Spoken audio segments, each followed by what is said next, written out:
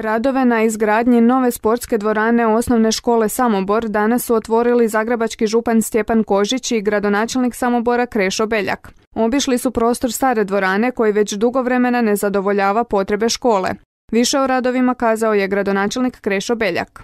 Pa evo ja moram reći da je ovo 50 godina bila stara dvorana, jedna od prvih u Republici Hrvatskoj, sada ide u povijest, a moram reći da već nekoliko godina razmišljamo o tome da je prestala biti adekvatna i po kvadraturi, dakle i po svojoj veličini, a i po sigurnosnim aspektima koji su, koji su dakle u, današnje vrijeme svakako na visokoj razini, tako da će uvjeren sam i nastavnici, a prije svega učenici biti jako zadovoljni da će dobiti novu naj, najbolju i najmoderniju moguću dvoranu. Radovi su vrijedni 10 milijuna kuna, a đaci će dobiti dvoranu dvostruko veću od stare. U drugoj fazi radova, kada se razriješi financijska konstrukcija, radit će se i aneks učionica.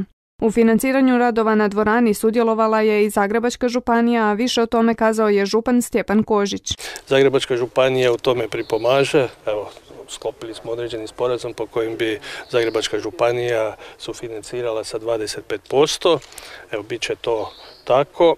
Ja govorim da u velikim dijelom tamo gdje smo osnivači, a osnivači smo uglavnom e, svih srednjih škola, velikim dijelom i osnovnih škola, osim Samobora, Zaprešića, Vrbovca i Velike Gorice, gdje su onda e, gradovi ti koji su nosioci svih investicija u osnovnom školstvu, ali Zagrebačka županija i tamo pripomaže u iznosu obimu kojem je to moguće iz proračuna.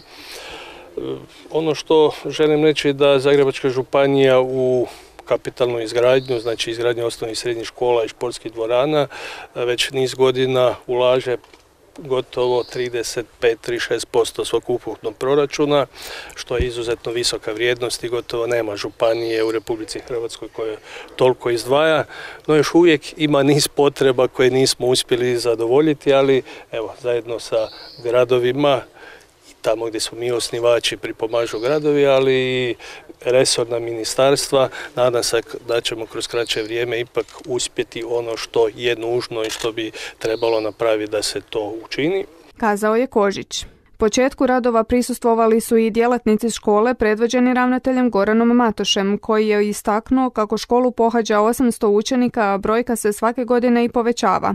Objasnio je u kakvim su uvjetima do sada radili. Program tjelesne zdravstvene kulture izvodio se u poučionicama i na igralištu škole i e, učitelji su ulagali veliki trud da u stvari završe ovu školsku godinu u, e, u takvim uvjetima i trudit će se i dalje naravno i jako se veselimo da ćemo e, dobiti tu novu školsku dvoranu. Inače, rok za izgradnju dvorane je 10 mjeseci.